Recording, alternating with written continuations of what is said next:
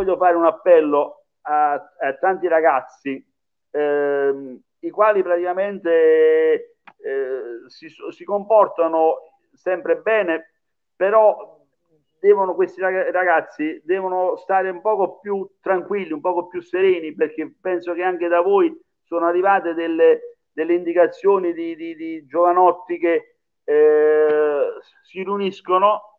Io, le forze dell'ordine stanno seguendo un po' tutte queste situazioni, ma sono ragazzi. E quindi di essere loro eh, a capire che eh, poi portano il contagio a casa. E a casa ci, ci sono i genitori e ci sono poi le persone anziane, i nonni.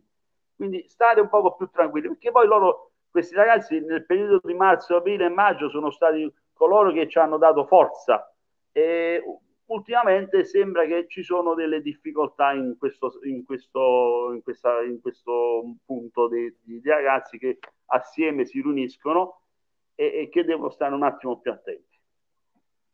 Sindaco, infatti un nodo cruciale riguarda proprio la questione di, dei controlli. In molte delle nostre interviste i cittadini hanno lamentato l'assenza di controlli sul territorio, eh, sicuramente rispetto al periodo del lockdown, in cui si vedevano comunque, si vedeva una presenza costante di polizia carabinieri eh, sul territorio, polizia municipale. Eh, adesso se, se, ne sente molto la mancanza. Come parliamo sempre in generale, cioè territorio non solo come torre ti rispondo Antonella, nel periodo di marzo-aprile eh, c'erano delle chiusure, c'erano più chiusure, quindi il controllo era più semplice.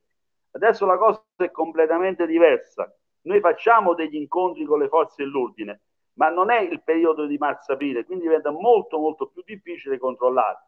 Ma poi alla, alla, alla base di tutto, io penso che i primi controllori siamo ognuno, non c'è più il sindaco, cioè siamo, noi siamo diventati infermieri e medici di noi stessi. Cioè pensare che io possa scendere in strada senza la mascherina o fermarmi con un gruppo di amici e parlare senza la mascherina, ma io penso che nessun controllo ci debba essere in tal senso, perché vuol dire che io sono, sono, sono uno stupido, sono, un, sono una persona senza senso e con me le altre. E allora io ritengo che noi, ognuno di noi è diventato, ripeto, medico, infermiere di noi stessi e controllore di me stesso. Un appello alla responsabilità rivolto ai più giovani arriva dal sindaco di Torre del Greco, Giovanni Palumba.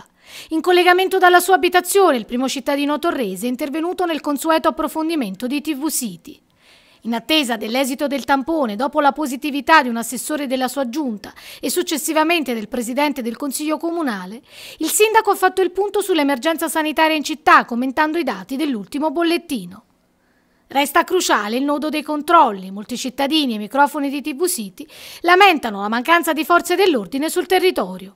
Allora, i controlli, che si parla sempre di controllo, dove è il polizia, carabinieri, di, di sera sicuramente ci sono perché lì c'è il, il il blackout totale, ma durante la giornata pensare che il vigile urbano, il poliziotto, il carabiniere si deve fermare, lo, fa, lo fanno anche, l'abbiamo visto ancora, anche alcune, alcune immagini, però voglio dire, il controllo è noi stessi. E devo dire, e devo dire che su questo io non noto nessuno che sta senza mascherina, è difficile che noi vediamo persone senza mascherina.